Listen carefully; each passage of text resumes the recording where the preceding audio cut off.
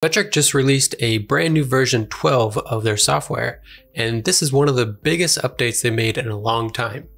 In this new update, they made a completely new redesign of their user interface. It looks much more modernized, and they added a bunch of new features. In this video, I'm going to show you one of their new features that are going to be a really big game changer for how you can make designs and carve them very quickly and you can even use AI to help you with this. If you're not familiar with what AI is, this is the artificial intelligence that you can use to create images for you of practically anything that you want to design. And all of this can be done for free with just three simple steps. So we're gonna get started and show you how that's done. And first off, I just wanna show you a quick overview of what we're doing. So this project example, I just made a text prompt that I wanted a polar bear that is a DJ and you can see the image that was generated on the left hand side. And then on the right hand side, I used one single toolpath and created this carving that you can easily carve with your CNC with a simple VBit and no other tools necessary. And to do this, you will need VCarve or Aspire software. So make sure you have that first. And let's get started on a brand new project and show you how this is done. So starting from a brand new project, we're just gonna create a new file you can make it any size that you want. I'm just going to use 10 by 10 inches for this example, and you could zero wherever you like. I prefer to do a material surface for this type of carve. So I'm going to click OK. And the very first thing we're going to need is an image to use for our carving. And this could be any image that you have on your computer already. It could be an image you took a picture of or an image you created yourself. But in this example, I'm going to show you how to use artificial intelligence to make practically any image that you'd like to create. To do this, we're going to use a free tool from Microsoft, and that tool is called Microsoft Copilot. As you can see, here is the polar bear that I made in the earlier example. And all I did was say polar bear DJ black and white clip art style. And this is the image it came up with. It actually came up with four different variants, and that was the one I liked the most. So that's the one I used. So this is the free tool we're going to use. There are other tools out there that you can use, but I know this one is easy and free to use. So if you want to try it out, just go to copilot.microsoft.com and you could sign up for a free Microsoft account. You may even have a Microsoft account from something else. Once you log in, you're going to go to the designer tab. And then at the bottom, you're going to type in exactly what you want. And I do recommend asking it for black and white clip art style because that will give you the easiest to use image for creating the toolpaths. And I'm just gonna make up an example for this, something crazy. Let's say we wanted a parachuting elephant. So we're gonna type in parachuting elephant, black and white clip art style. And after you type in exactly what you want, of course, the more detail you give here, the better. But I do recommend adding that black and white clip art style at the end, just to make it a little bit easier for Vectric software to create the toolpaths for. Once you're done, you're gonna click enter and you're gonna see it's gonna take a minute to respond, but once it responds, it'll give you four images that it generates from that prompt. And these are going to be the images you can use inside of Vectric. All right, and here you can see, it just took a few seconds and it created four different images from that prompt we generated. So now we can either select one of these that we like the most, or down here you can see they even have recommendations if you want to add or change anything about the image, you could type something else and it'll give you different results. You can also click on an image and edit the image individually.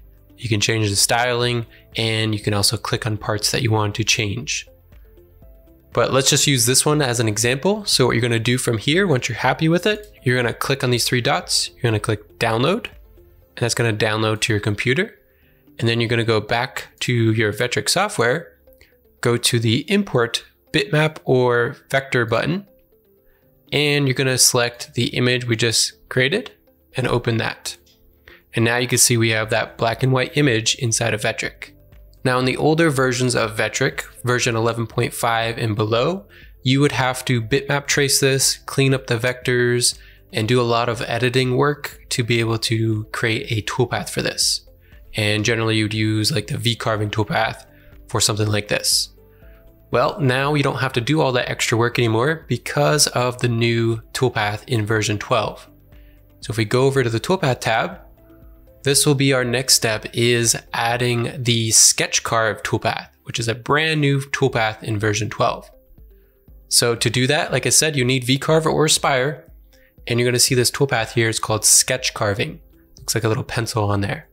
So you're gonna click on that toolpath and make sure it's in the bitmap mode and make sure your image is selected. And then you could set flat depths and start depths if you need to, but you can leave these at zero and it will carve right into the surface, no problem. You can change the tool if you like. I recommend using a V-bit, like a 60 degree for more detail or a 90 degree for less detail. And then down at the bottom, you have machining limit boundaries. I would recommend generally picking the bitmap boundary for something like this, but you could also isolate it into selected vectors as well. And the main thing you want to look at here is the tracing parameters. So you could see it says line thickness and it has a number here and a slider. So the higher you make this, the thicker your lines are going to carve and the deeper it's going to carve. And then the lower you make it, the smaller and shallower it will carve, but you'll also be able to get more detail. So you can adjust this left or right and take a look at it in the 2D view and you're going to notice it changes based off of where you change the slider. So as I'm moving this down, it's capturing more of the detail and making the lines smaller. If I turn it up, you'll see it'll carve deeper and carving more of the areas. The higher you make this, you may have to add a flat depth at some point because it's going to want to cut very deep in these dark green areas. And if you make it lower, you don't have to add a start depth as much because it won't be cutting as deep. So you can decide where you want to place this. And don't worry, if you don't like it the first time, you can go back and edit it. So I'm going to try it here at around 30 for the line thickness. This also will depend on how big your image is, so keep that in mind. But once we're happy with what it looks like, you're going to click calculate and that will generate a toolpath for you without needing any vector lines. So that's going right off the image and creating a V-carving toolpath for this. And this is called the sketch carving. Now we're going to go into the preview and click preview toolpath. And you can see there is the preview toolpath. And I recommend going up to machine area color and turning on global fill switching it to black, that'll give you a really good indication what it would look like if you were to paint that. And as you can see, we went from just a simple text prompt that we made, we generated the AI image, imported the image, and then created that sketch carving to make a really quick sign. And then of course you can add or subtract anything to this. You can add text, you could subtract part of it. If you want to isolate just one part of it, you can draw a vector around just the elephant and change the sketch carving parameters to just carve inside of that vector. So there's many things you can do with this. And like I said, if you don't like the way it turned out, you can always double click on that toolpath, change the line thickness or any of the other settings. Let's turn it up to 50, click calculate, and that will now generate a different toolpath based on those new parameters. And then you always want to do reset preview and then preview it again. And that will show you the new design with the different line thickness or whatever else you changed. So as you can see, this one added more of that fuzziness in some of the areas. I don't like this one as much. So if I wanted to, I can just go back and edit that to turn it back down to where I liked it before. Now, one other tip I would keep in mind here is to go up to the toolpaths go down to preview simulation quality and make sure this is turned up because if it's at the standard quality, it might preview a little blurry. So if you turn it up higher, it will get a better preview of what it's actually going to carve as. It may just make your computer a little bit slower as it's previewing it. And like I said, that's just one use case for this specific example. I'm going to show you some other examples from one of my students in my online CNC community this is from my student named David.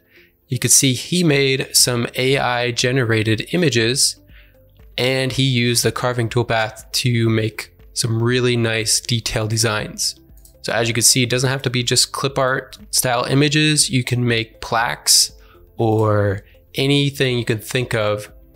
You can make some really neat designs and really detailed depending on how detailed you make your prompts in AI or you can just go online and find some images to use for your sketch carving as well. Just make sure you are able to use those images if you find someone else's, or if you are trying to sell projects, make sure you have the rights to do that. And by the way, this is part of my community here. If you are interested in learning more about Vectric, especially with all the new software updates, we have a large active community of CNC users and we all use Vectric software and always are active every week on this community.